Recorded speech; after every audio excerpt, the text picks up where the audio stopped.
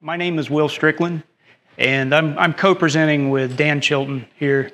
We, we both work in the core performance engineering team at Nutanix, and we've been there for a few years. Uh, we, on the last five or six years or so, we've both been focusing primarily on the NAS product, the NAS offering that, that fits into the Nutanix architecture. And so we're going to be discussing the challenges that we've run into in creating a uh, clustered software-defined file server from scratch on HCI. And just, just the last five years of, of some trials and some triumphs that we've run into. Uh, so I'm going to start out with just an overview of the traditional NFS environments, stuff that I came up in the storage world working on uh, before I joined Nutanix, and the Nutanix architecture from the ground up. So try, I like to start simple when I'm trying to learn something new and sort of build up uh, instead of seeing it, trying to see the whole picture at once. And, and then we're going to try to answer that question. How do you build a file server from scratch on HCI? Uh, a few things we found to be true, which is basically just best practices that we've, we've run into through the years of benchmarking that we've done. And then we're going to go into some of the details of performance of the, di the different components, major components of the, the file server.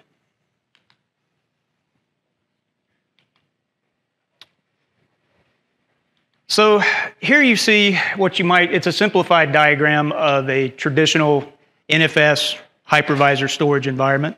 Uh, on the right there, you see a central NAS device, just a big toaster that's got some disks connected to it. Uh, could be spinning disk, could be flash, could be various combinations, you know, disk shelves and, and all that stuff, fiber channel. And you've got an Ethernet switch and then here three hosts, three hypervisor hosts that are running virtual machines and connecting to that storage via NFS. And whenever you're sizing an environment like this, a lot of times you want to try to get it up to a point uh, where you're not consuming most of your resources, but you're running sort of in the middle, uh, which gives you the best sort of performance in the beginning. So you're going to start out maybe 40, 50% CPU utilization. But it's really a law of nature in any uh, enterprise environment that the workload's going to increase over time. At least that's, that's what I've seen. Uh, so we're going to start adding clients. And as you do, the CPU, obviously, on your, your storage, since it's the central point of all the data that you're accessing, is going to start increasing. And again, you keep adding clients and keep adding clients as you go. And you may monitor the, the situation, but at some point, if you just keep adding, you're going to get to a point where you're at 100% CPU or, or whatever resource you're running out of here. This is just an example of CPU. Uh, and when this happens, you know, you're going to get a performance problem or potentially stability problems on all your hosts that are accessing that centralized storage. So when you reach a situation, I guess, I guess how, how many here have, have dealt with some similar situation like this in their, their storage life? Have, has anybody been yelled at because of a situation like this, you know, by a higher up person or or had to yell at somebody, you know. Uh, so that, yeah, this, this is just the type of situation that I, I ran into frequently because I came up in support at a previous storage company, and so we got a lot of calls about this type of problem. Um, and you know, another potential issue you might run into with this is having to do upgrades on the storage. It can be a dicey proposition because you know you've got one box that's responsible for all this data, and you have to do either a failover or downtime just to, just to do some firmware upgrades, things like that. And potentially another problem you might run into is because you've got one centralized box that's all the, the clients you're connecting to, you could run out of network bandwidth for that one box. It's, it's, easy, it's an easy way to run out of storage when you're, when you're depending on that one centralized solution. And the only way to really get out of this type of solution if you're up at 100% utilization is either move clients off of the system and put them on another NAS, or just basically forklift upgrade and bring in another NAS device to run your clients on so that you can expand your, your capabilities. So now this, this brings us to the, the, the buzzword that's been around for a few years. What's, what's hyperconverged? Uh, and really what it's, what it's trying to do is converge and collapse the entire stack. Uh, compute, storage, and network in one one self-contained package. It also should distribute uh, data and services across multiple nodes in a clustered system, which is what we do. And it needs to appear uh, like, a, like another centralized NAS. It should just appear the same to any client that, that accesses it. Here, this little diagram, this is from the Nutanix Bible, which is a good resource. I definitely recommend nutanixbible.com. If you want to learn like as much as you ever want to know about the Nutanix solution. Uh, but this, this diagram shows that you've got a hypervisor, you've got disks, uh, you know, you've got your SCSI controller that's connected to the hypervisor, and that's actually passed through directly to this controller VM. We'll go into a little more detail on that in a second. But in other words, instead of accessing a central NAS somewhere, they're actually accessing storage on the same host. So, like I said, I like to sort of start instead of seeing a big diagram like that and going into that uh, that large amount of detail. I like to start small and sort of work my way up to try to understand it. So here's just a, a single host, uh, a single Nutanix host with two SSDs and two HDDs connected to it. Could be any amount. On our platform, we support a bunch of different, you know, types of storage, all flash, uh, different amounts of spinning disk if you need a lot of capacity. When you install the Nutanix software on one of these hosts, we create a controller VM or CVM, like we like to call it. And that's going to be your virtual storage appliance. And we then, we then pass through the disks directly to the CVM. So the hypervisor doesn't actually have direct access to the disks. They're passed through to the CVM so it can have the, the lowest latency access possible uh, to those hardware devices.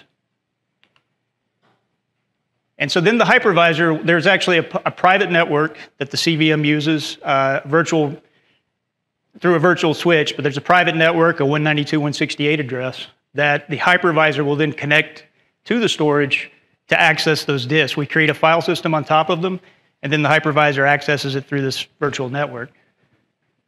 And once you've got that set up, you can start running your VMs and applications.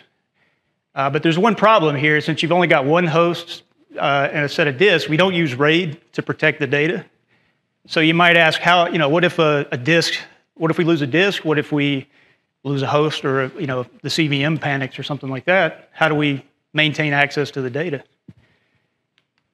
So that's where the other connection on the CVM comes into. This, this is a, a virtual NIC that just goes to the outside world through a 10, 25 gig Ethernet switch, 100 gig. And so then we bring up the other nodes in the cluster that connect via Ethernet. So there's no backplane on a Nutanix device. It can be in one 2U device, but even if it's in the same hardware, same, uh, same sheet metal, uh, it's still just going to connect to each node through the Ethernet uh, network.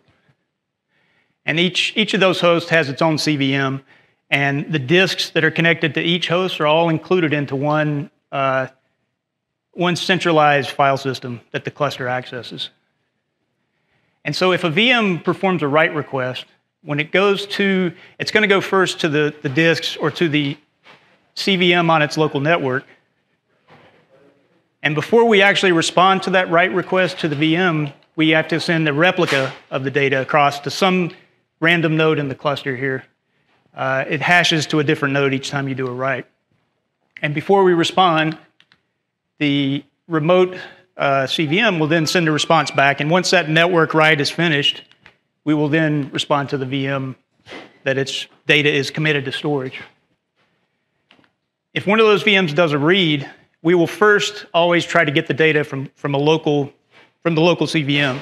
Even though there's replicas of its data all across the cluster, most of its local data is going to be here on this host that it needs to read because of something we have called data locality. So this enables low latency reads and prevents you from having to go across the network for every, every read that you've got. Uh, the only time that you would need to do a read across the network is uh, either you've, you've migrated VMs to another node, or if there's a failover situation, and then you might need to, to access some of your reads over the network. But even in that case, we will actually start moving data little by little in the background to keep it local to each VM. Uh, so uh, this brings up a question. So this brings us to Nutanix files, finally, the, the central point of the talk. Um, and why was it needed? Because you heard me talk about NFS before. That's how, That's how the hypervisor on a VMware system here, we use NFS to actually access these disks. So if we already have an NFS service here, why do we need Nutanix files? And the answer really is that the different workloads that you're going to see. In, in the case of a hypervisor, uh, you're mainly going to see large files, so virtual disks that you need to access. And it's pretty much only going to be reads and writes. So it's not going to be metadata operations. It's not going to be directories. It's just accessing virtual disks. Whereas your, your standard NFS clients may need to access millions of files across, you know, thousands or hundreds of thousands of directories. And that, that original storage layer on Nutanix wasn't really optimized for directories. It was mainly optimized for a hypervisor type of workload. So we needed really a general uh, file server that could handle something that a normal NAS client would need to access. And that really allowed us to converge the stack even further. So now, not only do you have compute, storage, and network, you also have shared storage in the same, same sheet metal, same uh, pane of glass there.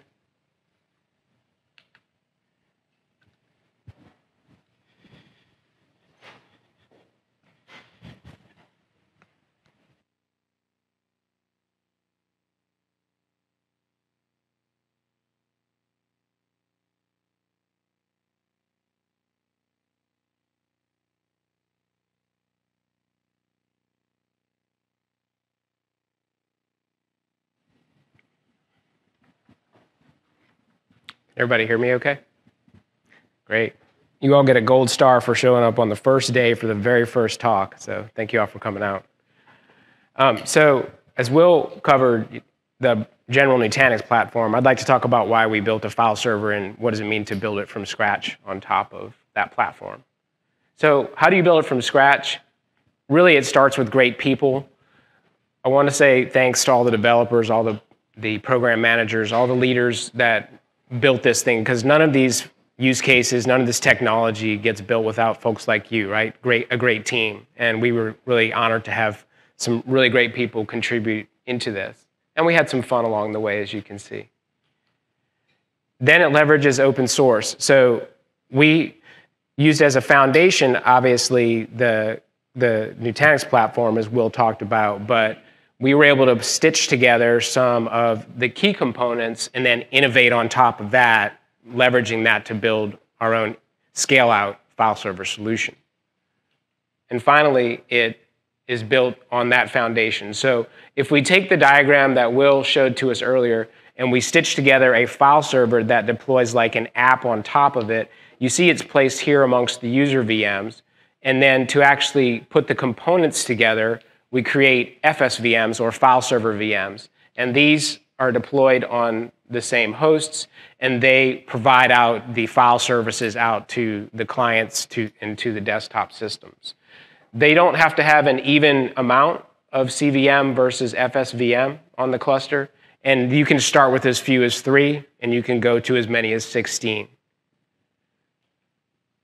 I'd like to dive a little deeper through the storage stack if you're interested in order to show kind of how, how that overlays. So the clients come in through NFS or SMB or both. There's a distributed metadata service that runs and is so that it creates one namespace and that each of the FSVMs is aware of where the data is within the namespace. And then that data services is laid down into something that we call Minerva FS or Minerva file system. Minerva file system is a customized scale out, highly available file system that leverages components from OpenZFS.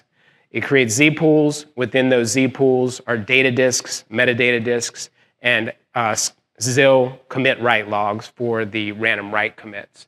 Those are all pooled and they're offered up via iSCSI from the AOS, so from the storage stack of Nutanix HCI. They're offered via volume groups. But the nice thing is, is that if you've spent any time zoning, you know, doing mapping LUNs, all this stuff, it could be complicated, and for user experience, it's not always that simple. So we tried to simplify that so that when you create a share, it automatically does all that mapping and, and data creation and spreads it out, load balanced across all of the Nutanix cluster so that there's no complex LUN mapping. And there's no single resource or bottlenecks because when you want to scale out capacity, you add more Nutanix nodes, and it, and it can be past 16. You just grow a larger cluster, more disk. And if you want to grow performance, you can add more FSVMs to serve the compute needs of the clients. And then finally, if you don't really need more or you can't scale out, you can always scale up and add more CPU or memory. Now, the nice thing is these are all residing on a host, so as long as there is physical resources on the host, then it's a hot add. So hot plug in some additional vCPU, memory, no downtime, scale up, and you're able to service more workload. So that's the architecture. Now I'd like to kind of dig into the performance section. This is what's near and dear to Will and I's hearts. I'm not sure how many of you work in performance, but this is the stuff we love to get up in the morning and do. So from a foundation perspective, things started off really at a crawl. You know, I've seen a mentor that told me many times that all things in life start from a phase of crawl before they walk and before they run. I've seen the same with my daughters when they were taking those first crawls, they were finally pulling up and they were fi- finally just taking a step or two. And then they fall down, right? And, and we found that with our file server was we went back in the early days that we, we went through similar phases. So we started out, this is around the 2015 timeframe, with looking at servicing just Windows clients with SMB. And this was a nice snap together um, because if you recall or, or, know a little bit about Nutanix history, we initially made a lot of headway with offering VDI in a new way. And, is, and that was an end user computing type of solution that worked well. So if we could snap together a file server and provide home directories, provide profiles, we were able to really service our customers better. So, so as I started testing it back then, I looked at using a very small vCPU and memory configuration because I didn't want to mask problems by just adding too much hardware.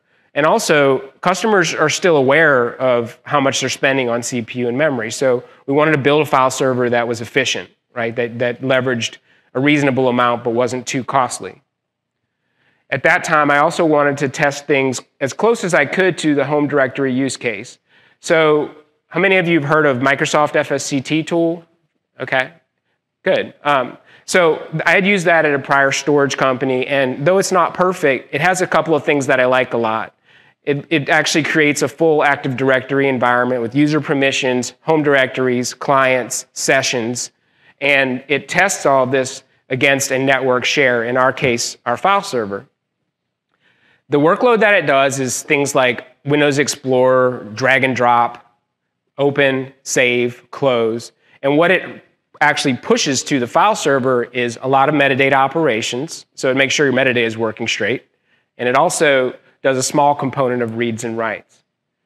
So as you can see from this chart from before we released the product, crawling was sometimes a tough step, right? So the nice thing about this graph is that performance in terms of concurrent users is going up over time. But the rough thing is that at some of these dates, we were functionally broken, right? We just, we just weren't even working. Um, and some of the bugs we opened up back then were for things like you know, file server SMB version too, too small to join the domain, too low, or file server panics, regressions, slows down, and, or improving the file server through cache. So these were all things we were looking at back then, and then we released the product. But over time, we, as we hit that walk phase, we continued to test, analyze, measure, and improve. And we improved our user counts as we went up through new iterations of the product. Now, servicing the needs of Windows clients is great, and, and that, that was a key early goal, but we wanted to step up into doing really a scale out NAS solution that would be comparable, though software defined, to what you might see from any of the major storage vendors. So we added NFS, v3, NFS v4. We began to test with workloads that were spec workloads, test with four corners workloads, random reads, random writes. And so as we hit that run phase, as you can see here, we switch workloads, and this is NFS clients, and we're testing with 8K random reads, with 8K random with writes. And instead of software releases, we scale out the file server, measuring how much IOPS, we can do with one nodes, four, eight, 12, or 16 of our FSVMs. And the good thing is we scale fairly linearly here. And this is for our hybrid platform. So we would expect on an all flash or an all NVMe that these numbers would be a bit higher. But one of our strong points has always been a little bit more, because we're software defined, with networking, like just a little bit more towards the throughput-based workloads, so streaming and, and different things along that line. As you can see, we can push some pretty, pretty big numbers for uh, one megabyte sequential reads and writes, and, and we can scale it out. Now, a couple of things that we found to be true from all this, and that starts off with really hardware still matters, right? Even for software defined. So we found that if you scaled up the FSVMs and turn, gave them more CPU, gave them more memory, same with the CVMs, that they would take advantage of it. And we also found that CPU count and speed still mattered. So, for example, some platforms only have eight vCPU uh, or eight, eight CPU available, and if you can scale it up and use a 12 CPU platform instead, we found that we were able to double our sequential write performance. But maybe you don't have the additional option of buying that platform and you're already locked into one that has eight CPUs in the socket. Well, we found by over provisioning our CPUs and using hyperthreading that even with that, for some workloads, we could improve things by 37% by just using hyperthreading. So move it up from 8 vCPU to 12, resting on top of 8 regular CPU. And finally, um, Nutanix files, we just said it, it, deploys like an app. So you can absolutely deploy it with user VMs. You can make it all just one cloud. You can run it that way. But you can also run it as what we call a files dedicated. And that's where you basically turn it into a scale out NAS. So the only consumers on the host are FSVMs and CVMs. And in that case, to really lay things out on the CPU architecture well, we found that it makes sense to pin the CVM to one NUMA node and the FSVM CPUs to the other NUMA node. And then what that leads to is the best performance, but also the most consistent performance because of you're not you know, doing any of those QPI crossings. Like it's just much more, much more consistent. Now, uh, networking matters a ton. As Will discussed, all of these things are sharing the same Ethernet networking. So we're able to use multiple NICs, multiple connections in the switch, and the, fa the faster speeds that we do, 25 gigabit, 40 gigabit, 100 gigabit, the better the platform works.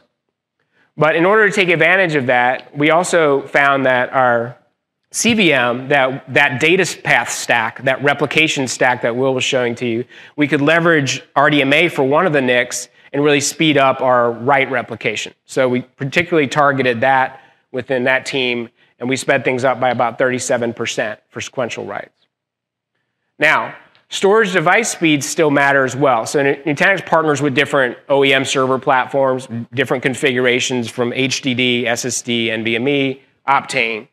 And we found that faster disk is still faster disk, but faster disk needs faster software. So the, the HCI part of the stack went through a complete data path rewrite in the past four years, putting together a very lightweight block store file system that sits at the bottom of all this, and, and also leveraging SPDK technology for the NVMe devices. So highly parallel, low latency access, feeding that all up to improve things for our file server, which sits, which sits at the top of it.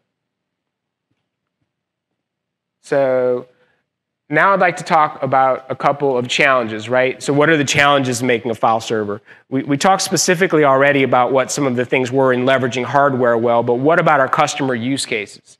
So initial ones were profile access, speed, and, and how, how, how quickly they can do it. And you know, we, it, when we first got started, we knew we could serve this use case, but we still needed to put together serving it well. And we found that as we added more users and they added more files, that the query directories and were kind of slow.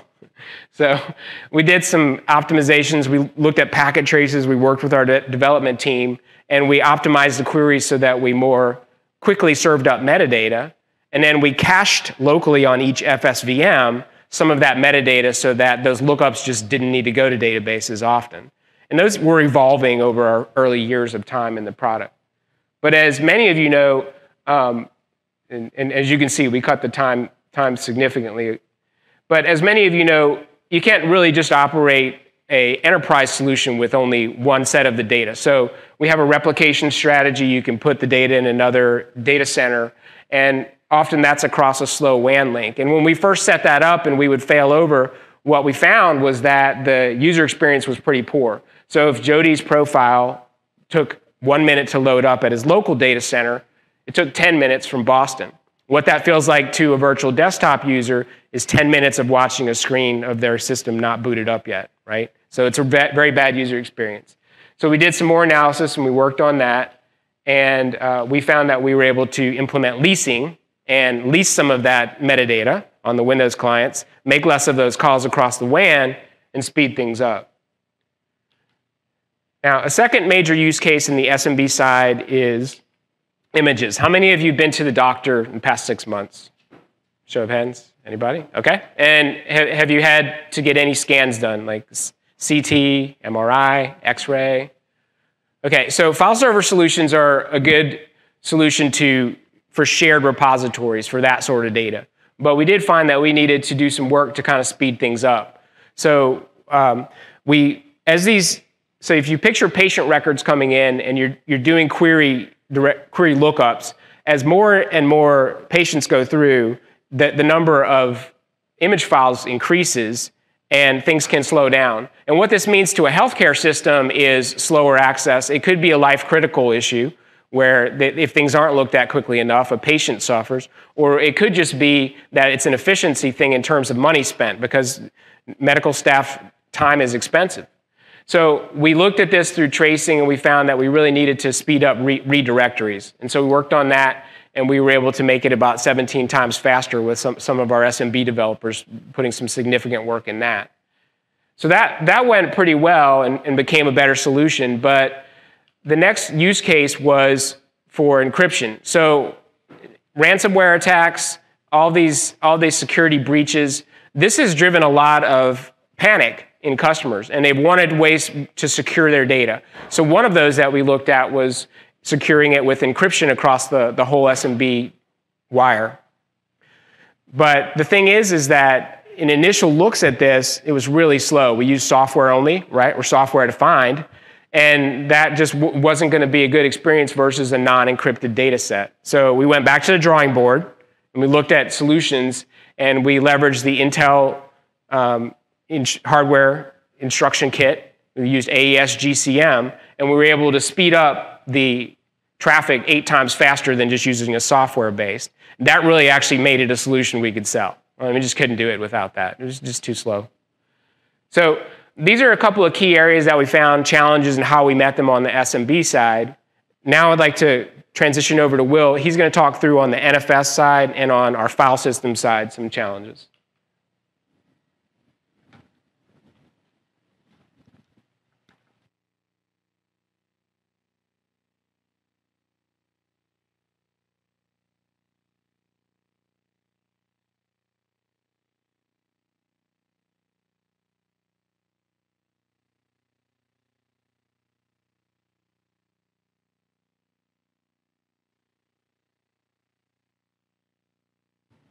Can everybody hear me okay? Okay. Yeah, the transitions make things a little interesting. Um, so yeah, as Dan mentioned, uh, we're going to talk now about some of the performance challenges we saw in the NFS space. So I, he, he worked in a lot of cases on the SMB side of things because he has a lot of a, a, Windows background. I've got more of a Unix background. So I, I worked some on the NFS side in, in performance. Uh, these are some challenges we ran into, especially the first one here. Uh, I think it's very interesting uh, and I'd like to share it with you. I think you'll find it interesting too. So in the course of benchmarking NFS, we were performing uh, cache random read workload. So essentially we were trying to, instead of really taking the, we're sort of trying to take the storage out of the equation and see what the software could do in terms of requests per second, that type of a workload.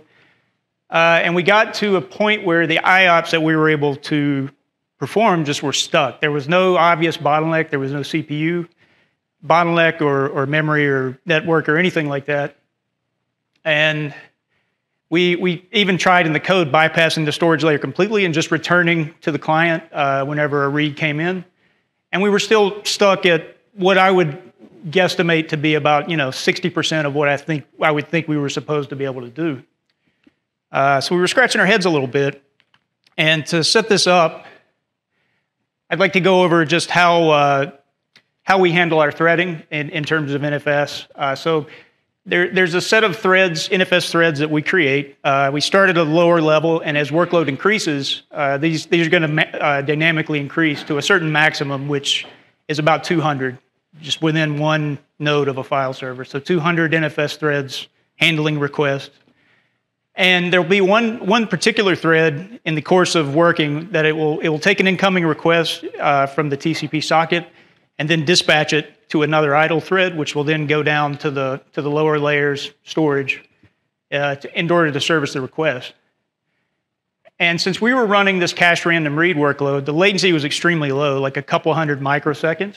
Um, and so what we were finding was as we, as we started running this workload, uh, when we saw that the, the IOPS were stuck at this point, we saw that the threads were up to maximum, so 200. And that was weird. Okay. And so since the threads were at the maximum, we were thinking, well, let's add some extra threads and see if we can uncork that, that throughput. Because usually in the performance world, more equals better, right? That's, that was our logic there. So we added threads, and actually the throughput started going down, which was a little bit of a head scratcher. Um, and so since we saw that behavior, in the course of the troubleshooting, we thought, well, let's, let's just lower the number of threads and see what happens.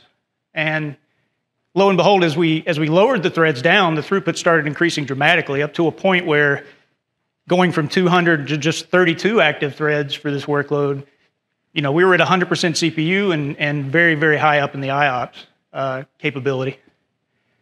And so uh, what this, what this showed eventually is that the the amount of time that that dispatching process takes that I was mentioning before, where thread request comes in, dispatch thread handles it and moves it to another idle thread, ended up being a substantial point, a portion of that entire latency. Just because the latency of the storage level was so low, it was just a couple hundred microseconds. That was a big proportion of it. And so we found that in some cases, implementing a change in the product where if you have multiple thread pools, some of which handle the random low latency requests and some of which handle sequential or high latency requests, you separate those two workloads from a computing perspective, you get much more throughput. And here you can see uh, before the change, this is where our IOPS were stuck, and we basically doubled. And we found that if we could just let that dispatch thread, instead of sending spending the time dispatching it to another thread, just go ahead and handle the request. Take that dispatch and context switching out of the equation. It, it drastically improved our performance for these low latency requests. The main time you would need a whole bunch of threads is when you know you've got a, a slower storage backend, and so threads are staying busy for a long time. Uh, you need many more threads, but in this case, taking out that context switching for low latency operations really, really uncorked performance for us. And so, yeah, I just thought that was pretty interesting. This was one of those aspects in, in performance where the, the intuitive action to take, where just adding threads, really ended up not being the right answer. And so, a second uh, challenge we ran into, in some cases, uh, for, for workloads that were utilizing, like I talked about before, millions of files and directories, uh, we have, a, we have a, a, separate cache within NFS that's just an inode cache. So our, our file system caches data and metadata, which is you know on one level. But when you're dealing with NFS, you've got files and directory information that needs to be cached as well. And so in the, in the product, when we first implemented it, there was only 100,000 entries set aside for inodes. And if you've got millions of files, we found that this just wasn't, wasn't enough. So we implemented a, a change in the product. Instead of capping the entries at some certain amount, we set a thing in the, we set a, a, aside a portion of the code so that when the RAM increases, as you add RAM to your file server, that cache also increases. And also the cache timeout as well, so it stays in cache longer. And ultimately, we, we we were able to cache millions of files. And once we did that, the performance improved quite a bit. And we implemented this, you know, in response to a customer situation, and it, it drastically helped their performance quite a bit. And so apart from NFS, now we're going to talk about that underlying file system that Minerva FS that uh, Dan talked about that's based on OpenZFS. So this is just a quick refresher, uh, kind of a simple, simplified diagram. So this is that Nutanix hyperconverged storage fabric that I talked about. And when you create a share in our file server, we're going to create a group of virtual disks that we then attach to the file server. We create that Minerva file system on top of that.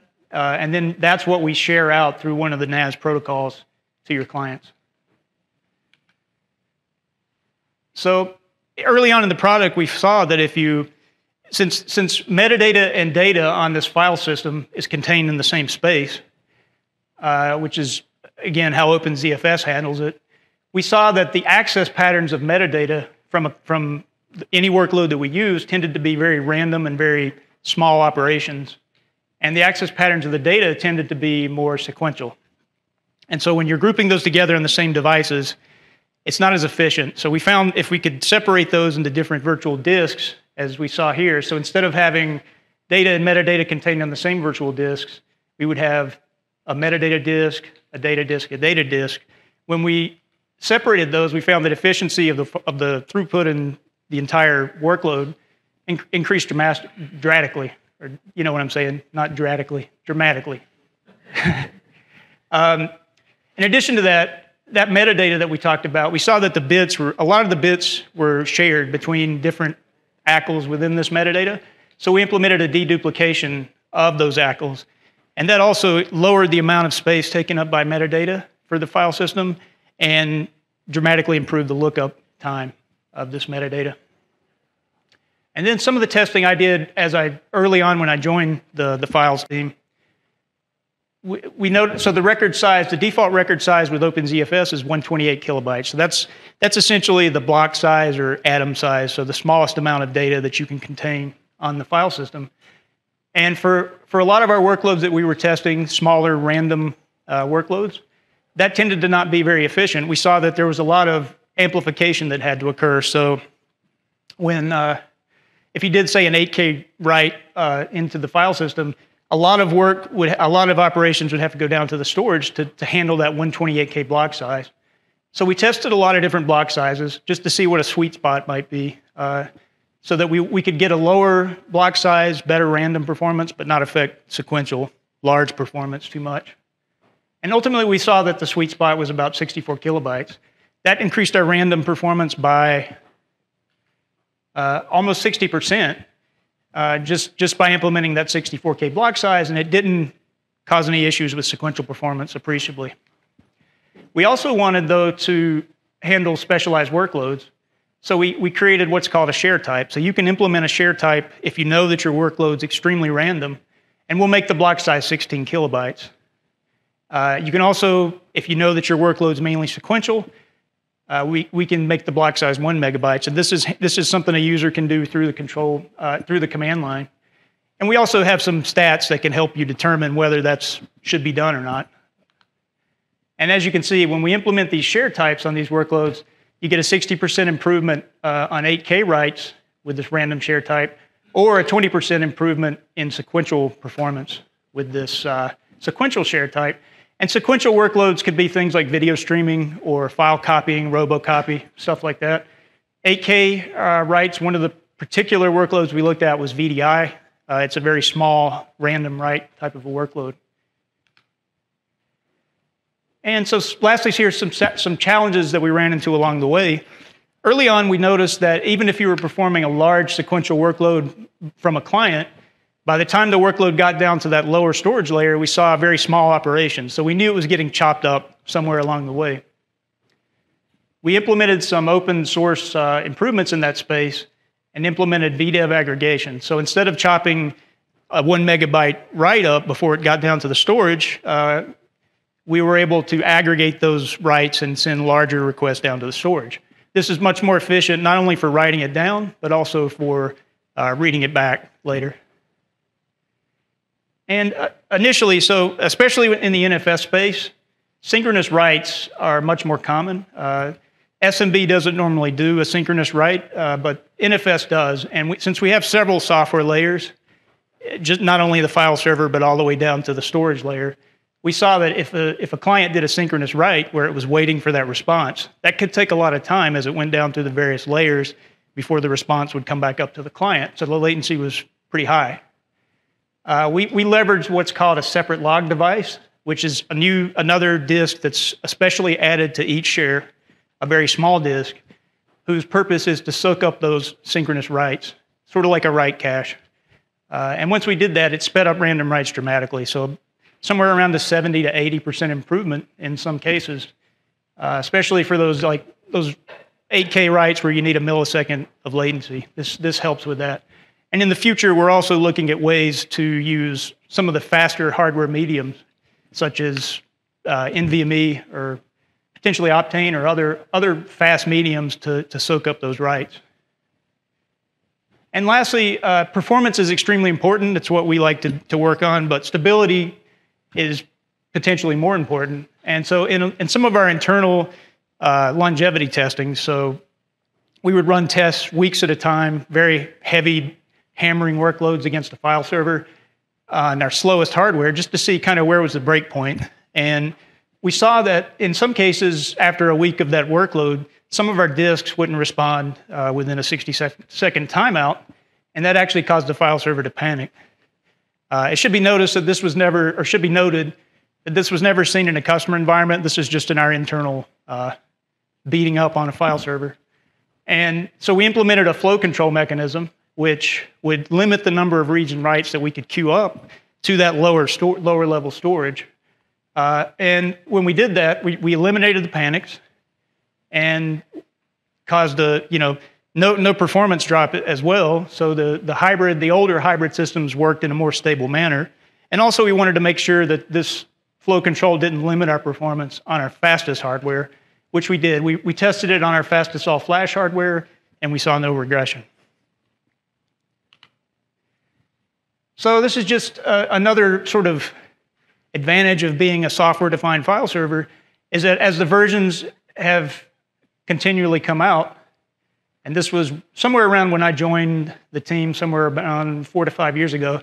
Each, each major release, we were able to just find efficiencies in the product and continue driving performance upward. Uh, and that's where we've been, and that's, that's where we hope to continue. So, lastly, really, how do you, how do you build a file server from scratch? Uh, yeah, how do you build a file server from scratch on HCI? We do it with great people, as Dan mentioned. Uh, we do it by leveraging and innovating on open source. Uh, we take that solid foundation, the Nutanix fabric, and really, most importantly, we have amazing customers that have been with us every step of the way.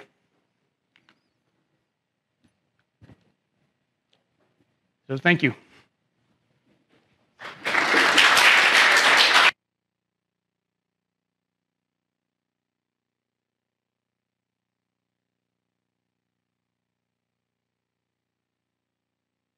We have about five minutes for Q&A. Uh, so does anybody have any questions that you'd like to ask us?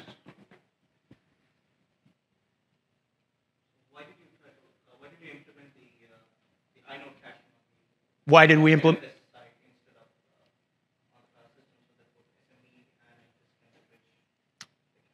Yeah, so uh, he asked, why did we implement the inode cache on the NFS side? Well, I'll keep this up here. Why did we implement the inode cache here versus a cache here in the file server file system layer? Uh, actually, we still do have a metadata cache here in the file system layer. This is the, the cache that we were talking about here is really a special cache that only NFS would need because because of the NFS protocol, you're sending file hand, you're getting file handles and directory information through NFS. So that, that's why that cache is there. SMB would have its own protocol cache. I think it would, in other words, it's a separate cache only needed by that protocol. Yeah, so there's still metadata cache here as well.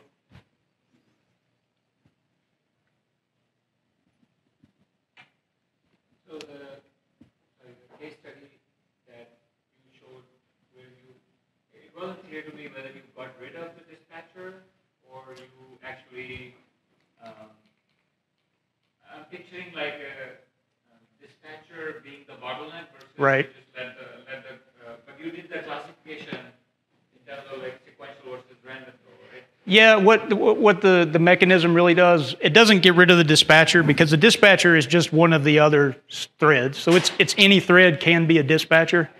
And so they, they still dispatch if the latency is or if the workload latency is higher. But if it's lower, instead of dispatching it, it just it just takes it and runs with it.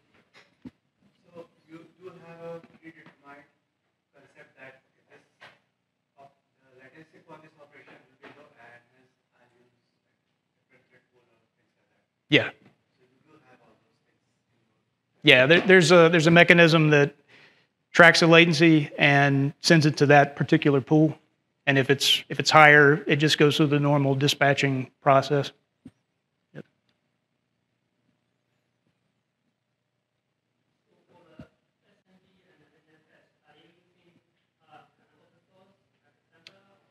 Yeah, so the it's it's not just open source. It the the basis of of SMB is is Samba, and then we've done a lot of innovations and changes and things on top of it.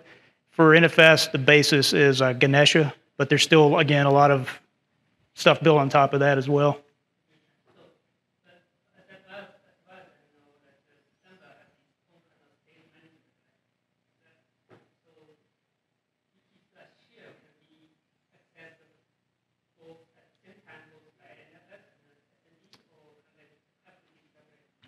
Yeah, you want to talk about the question was, can it be share access via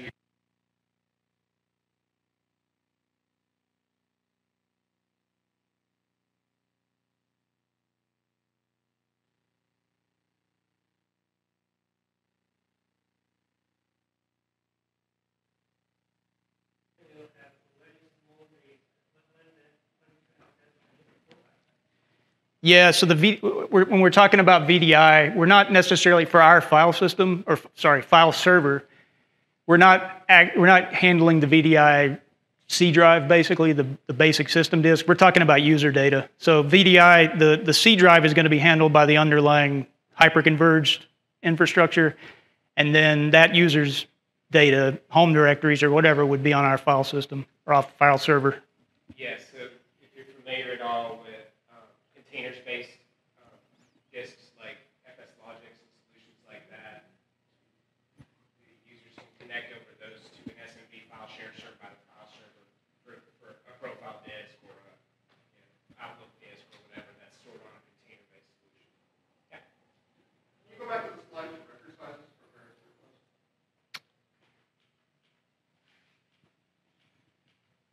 This one? Yeah. Okay. Yeah.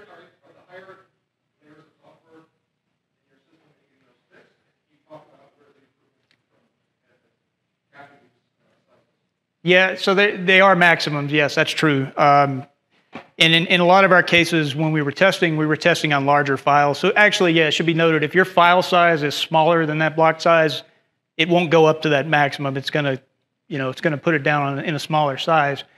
But in a lot of our testing, we were testing on larger files. So, so the and, the, the main improvements that we saw here came about during overwrites. So if you if you have a larger file uh, and you've got a smaller record size, doing overwrites is much more efficient on a smaller record size. At least that's what we've seen. Uh, it's not necessarily and writes that are more efficient. It's overwrites. Yeah. Yeah. Exactly. Yeah read, modify, write.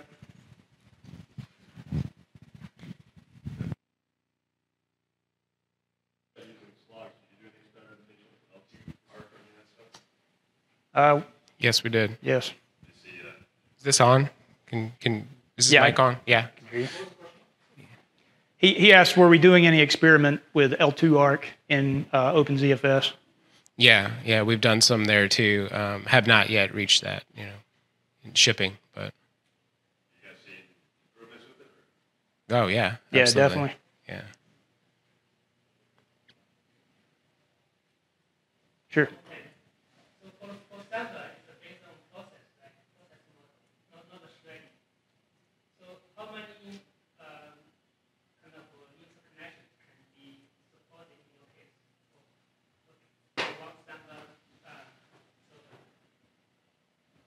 So the question was, if I understood it, is is how many user connections can can go to each like FSVM, for example? Okay, very good question, and we spent a lot of time on this. Um, so we have measured basically the, the, the memory usage for each connection, and we've looked at our different vCPU and memory configurations that are available as software defined. We can do anywhere from four CPU and 12 gigs to 128 CP to 512 gigs of memory, et cetera. So, so we looked at them and, and we made some memory analysis and said we're going to limit it to this amount of connections for each of those those memory sizes. So, for example, an FSVM that is really small configured memory, about 12 gigabytes, might be 500 Samba connections per FSVM, not per cluster, per FSVM, and then we would scale it up as we have more memory. Did that help? Okay, perfect. That's our time, but if, if you have any other questions that you'd like to ask, come find us in the hall. Uh, and also, you can always reach out to us through email. Uh, I'm will at nutanix.com. That's an easy one to remember, luckily. And what, what are you? Email. It's daniel.chilton at nutanix.com. Glad to talk to you more in the hallway. Yeah, definitely. Yeah, thanks for coming.